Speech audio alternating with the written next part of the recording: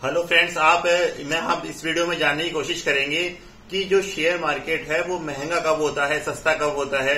बहुत सारे वीडियोस में लोग मुझे बोलते हैं कि, अब यार, आप हमेशा ये बता देते हो कि निफ्टी में इन्वेस्ट करो, हर महीने इन्वेस्ट करो, एसआईपी के बेसिस में इन्वेस्ट करूँ। लेकिन ऐसा कोई तरीका है क्या? क्या मुझे पता लग जाए पहले ही, क्या मैं जब भी इन्वेस्ट कर रहा हूँ, क्या वो मैं महँगा इन्वेस्ट कर रहा हूँ, क्या मैं सौ का माल कहीं डेढ़ सौ में तो नहीं खरीद रहा है, या फिर मैं सौ का माल अगर पचास में मिल रहा है तो मुझे कैसे पता लगेगा कि जो मिस्टर मार्केट है, हमारे मिस्टर मार्केट से मेरा मतलब है सेंसेक्स और जो निफ्टी है, वो मुझे कैसा पता लगेगा कि आज की डेट में जो ट्रेड हो रहे हैं, वो एक्सपेंसिव है, ओवर एक्सपेंसिव है, या फिर चीप है, या फिर बहुत ही मतलब बहुत ज़्यादा सस्ते मिल रहे हैं? तो इस तरह मुझे अगर मान लीजिए वन लाख रुपीज़ इन्वेस्ट करने हैं सेंसेक्स में तो मैं ये चाहता हूँ कि यार मेरा ये वन लाख रुपीज़ है, वो इस तरह से इन्वेस्ट ना हो जाए कि ये डेढ़ डेढ़, मैं उसको डेढ़ गुना प्रीमियम दे रहा हूँ। मतलब आज का मार्केट वैल्यू डेढ़ गुना ज़्यादा एक्सपेंसिव है और मैं उसको वन लाख रुपीज़ प्रीमियम दे रहा हूँ तो उससे क्या होगा, मुझे पचास परसेंट का जो अपसाइड है, उसके लिए मुझे बहुत ज़्यादा वेट करना पड़ेगा। अल्टीमेटली वो भी क्रॉस कर ही देगा निफ्टी और सेंसेक्स में आप इन्वेस्ट करेंगे तो आपके पैसे हमेशा बढ़ेंगे ही बट जो बहुत ज़्यादा आपको लॉन्ग पीरियड ऑफ़ टाइम में वेट करना पड़ेगा। तो इसका मैं आपको सबसे दो तीन बेसिक रूल होते हैं, वो बताता हूँ। सबसे पहले हम चेक करते हैं market cap by GDP ratio जिसको हम वॉरन बफे इंडिकेटर भी बोलते हैं। इसके बारे में जो डिटेल अगर आपको वीडियो चाहिए तो मैंने ऑलरेडी दो तीन वीडियो बना रखी है तो आप उसको देख सकते हैं। लेकिन अगर आज की डेट में मैं बताऊँ सत्रह हज़ार तीन सौ पे मार्केट कैप है जो जो जीडीपी रेशियो है वो वन है। तो ना तो मार्केट बहुत ज़्यादा एक्सपेंसिव है ना तो मार्केट बहुत ज़्यादा चीप है। तो इससे हो, हो रहा क्या है कि अगर आप सौ रुपए का माल है तो सौ रुपए के आसपास में आप खरीद रहे हैं। अब दूसरा जो इंडिकेटर होता है जो बहुत बहुत ही कम लोगों को पता है वो हम हम जैसे मैं आप पर्सनली फॉलो करता हूँ, अगर मुझे मान लीजिए बहुत, अगर नॉर्मली एसआईपी करानी है तो वो चलने दीजिए। लेकिन अगर मान लीजिए मुझे कोई लमसम इन्वेस्टमेंट करना है तो मैं कैसे करता हूँ? तो ये आज के प्रैक्टिकली एग्ज़ाम्पल दे देते हैं।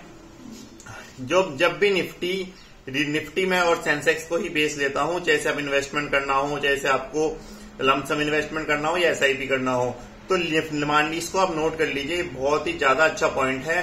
और यह आपका बहुत ज़्यादा हेल्प करेगा इन्वेस्टमेंट में। और सबसे इम्पोर्टेंट पॉइंट तो मार्केट कैप बाय जीडीपी है, जिसको देखने के लिए आपको एक मिनट लगेगा ज़्यादा से ज़्यादा।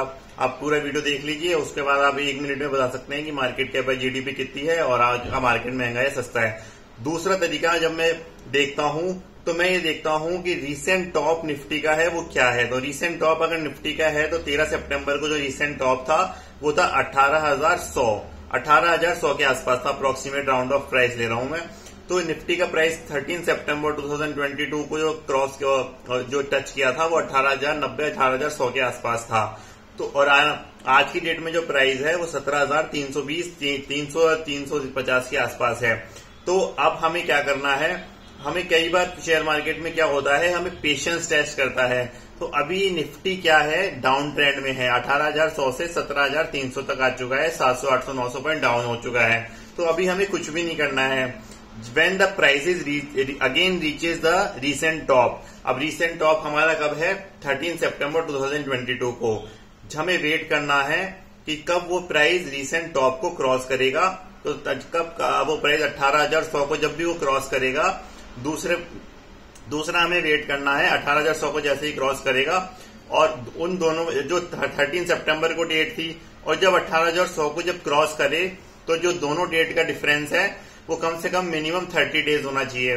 तो इसका मतलब है कि मान लीजिए मैं कल, आज, कल की डेट क्या है? चौबीस पच्चीस सितंबर है तो दस बारह दिन ही हुए हैं, तेरह सितंबर से पच्चीस सितंबर अगर कल ही मार्केट अठारह हज़ार सौ को क्रॉस कर देता है, छह परसेंट अपसाइड मैं एज एजम्पन ले रहा हूँ, अगर अठारह हज़ार सौ को क्रॉस कर लेता है, हज़ार पॉइंट ऊपर निफ्टी खुल जाता है कोई अच्छी न्यूज़ से, फिर हमें कुछ नहीं करना है।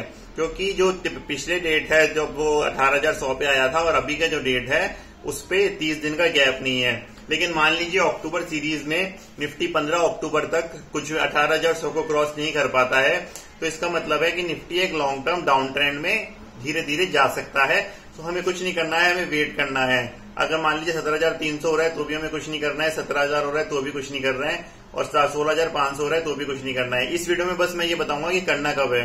मान लीजिए सोलह अक्टूबर या उसके बाद निफ्टी अठारह हज़ार सौ को क्रॉस कर देता है तो हमें ये वाला हमें दो कंडीशन पूरी हो गई। एक तो market cap by GDP ratio one one या वन के आसपास है तो हम इन्वेस्टमेंट कर लेंगे। दूसरा जो रिसेंट टॉप को जो क्रॉस कर रहा है, उसका जो 30 दिन का गैप है 30 दिन का गैप होना चाहिए और रिसेंट टॉप को क्रॉस कर देना चाहिए। तो 16 अक्टूबर के बाद, मान लीजिए अठारह के बाद जैसे ही क्रॉस करेगा तो तीसरी कंडीशन उसके बाद मैं देखूँगा कि चेक पीई पीई में कुछ नहीं करना होता है एनएससी इंडिया डॉट कॉम की जो साइट है उसमें आपको पीई रेशियो मिल जाएगा। अगर आपको फिर भी समझ नहीं आ रहा तो Nifty PE ratio currently today ऐसा कुछ भी डाल दीजिए गूगल पे तो आपको पीई रेशियो आ जाएगा।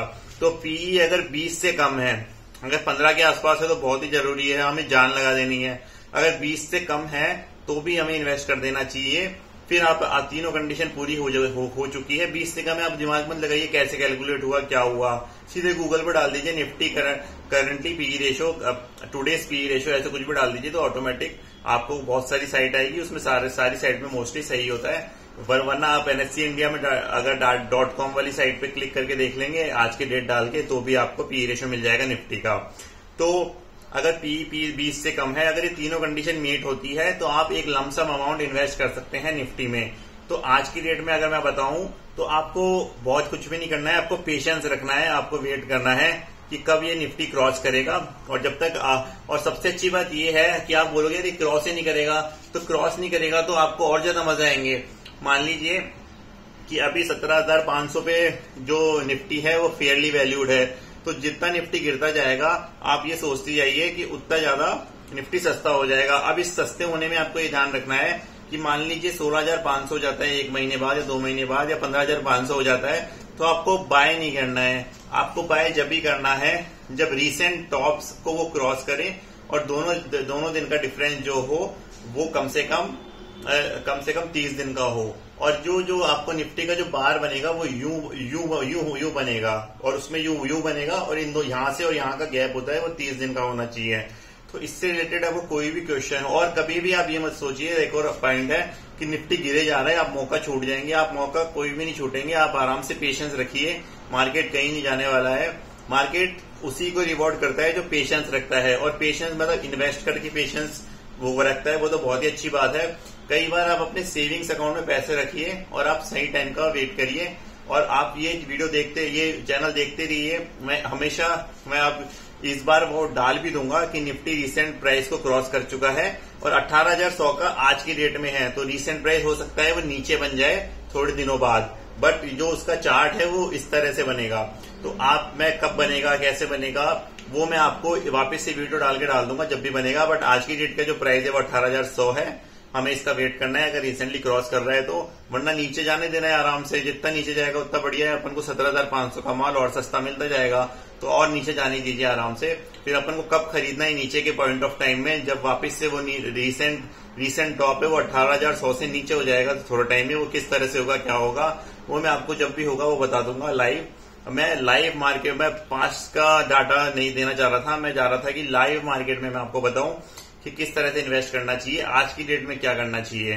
तो इसके रिगार्डिंग आपको कोई भी क्वेश्चन हो या कोई भी क्वेरी हो, सबसे वापिस मैं बोल रहा हूँ, चार पाँच बार बोल चुका इस वीडियो में कि आपको पेशेंस रखना है। पेशेंस सबसे ज़्यादा ज़रूरी है।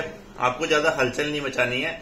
आपके बैंक अकाउंट में पैसे हैं या एफडी में पैसे हैं, उसको आप आराम से रखिए और वेट करिए सही मौके का अभी जो निफ्टी में इन्वेस्टमेंट के लिए। और उसके लिए और कोई आपका क्वेश्चन हो थैंक यू इसमें नीचे वीडियो में डाल सकते हैं।